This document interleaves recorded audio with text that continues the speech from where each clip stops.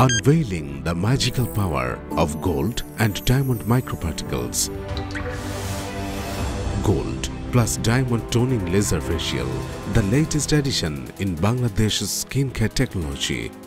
নিখুঁত এই ট্রিটমেন্টটি গোল্ড ও ডায়মন্ডের মাইক্রোপার্টিকেলসের পাওয়ারকে ট্রানেক্সামিক্স অ্যাসিড নিয়াসিনামাইড এবং আরবুটিনের মতো শক্তিশালী হোয়াইটেনিং এজেন্টের সাথে একত্রিত করে, যা ফেসকে করে, আরও উজ্জ্বল ও দাগমুক্ত, নিমিষেই।